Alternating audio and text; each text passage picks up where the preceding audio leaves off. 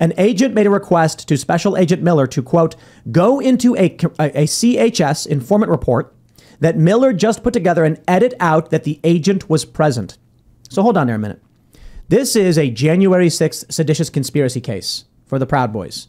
And there was a special agent, there, there was some kind of federal agent present with these people. Well, that's it. That's evidence of federal involvement right there.